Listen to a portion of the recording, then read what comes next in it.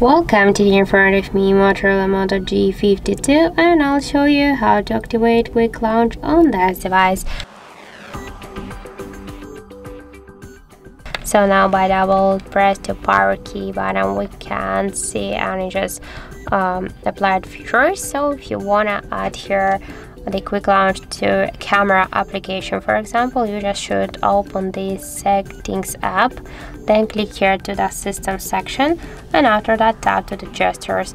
Then first section the double press power key. Here we have selected just uh, we have now selected here any features. For example to launch camera click here launch camera and now just by double press the power key we can see that the camera app is activated successfully. So that's it. Thank you for watching and if you find this video helpful don't forget to leave a like comment and to subscribe our channel